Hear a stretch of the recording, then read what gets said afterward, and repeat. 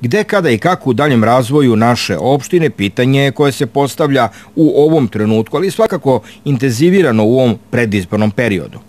Istina je da je u Inđiji došao veliki broj investitora, uglavnom stranih, i da su oni pomerili stvari sa mrtve tačke kada je privredni razvoj u pitanju.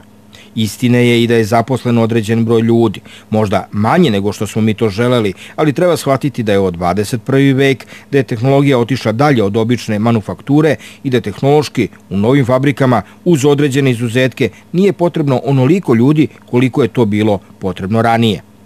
Uz to i oni koji su našli u ukljebljenje u nekoj od ovih privrednih subjekata, kako se to često kaže, moraju da se iskažu svojim znanjima i svojim sposobnostima. Nema više ili je sve manje političkih, kumovskih, zemljačkih i rođačkih veza. Gazdama ne trebaju prijatelji, već radnici.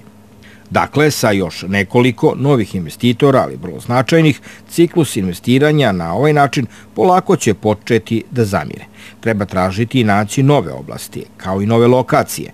Neke od njih ćemo morati sami otkriti, poštujući sve specifičnosti koje imamo, a neka rešenja se ipak nameću, poput Dunavske strategije, za koju moramo da pokažemo punu zainteresovanost, ali i inicijativu da u njoj aktivno učestvujemo.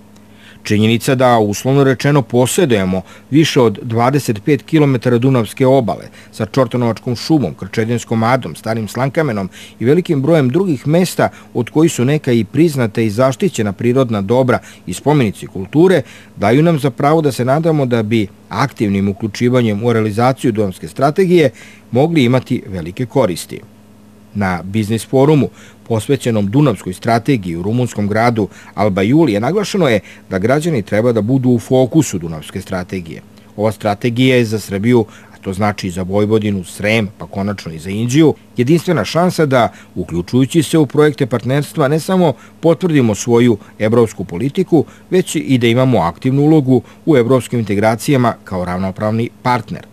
Interes građana se mora staviti u fokus ovog velikog evropskog projekta, pa se, bez obzira na veliku različitost u decentralizovanom statusu, ekonomskom stepenu razvoja standardu građana podunavskih država, očekivanja svode na isto, a to je kako kvalitetnije živeti.